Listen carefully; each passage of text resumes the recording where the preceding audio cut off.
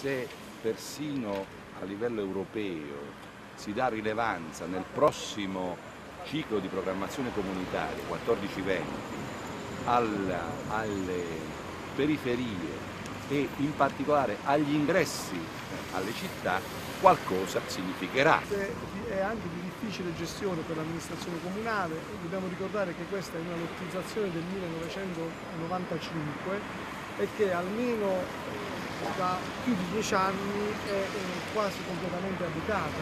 praticamente sono previste due corsie per ogni senso di marcia con eh, lo spartitraffico centrale dove verranno inserite la pubblica illuminazione.